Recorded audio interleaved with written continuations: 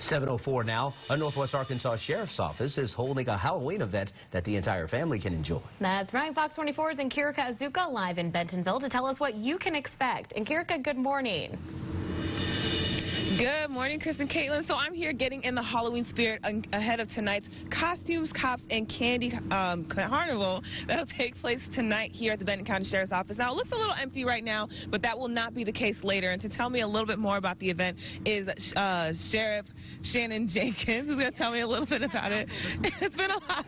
So tell me a little bit about this event. Yeah, so this is our third annual Costumes, Candy, and Cops Carnival. Um, it's designed for the community, so it's community first is what the Sheriff's Office really, really uh, goes for and pushes and everything. So this is just one of the biggest events that we do um, each year that we look forward to. Um, it's all about the kids and the big kids, um, which would be us.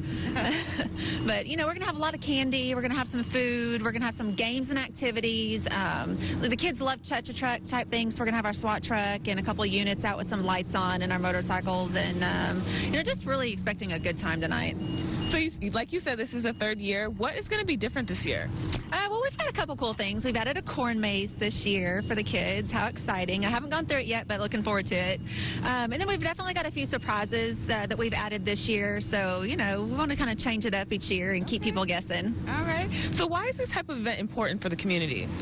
Um, you know, it's building relationships. I mean, your community is about building relationships, and it's really important that law enforcement and uh, you know the families in our community, especially our children, know that that see us as people and that we can have fun too. So um, we're going to be laughing right along with them and, and, eating probably just as much candy as they are too.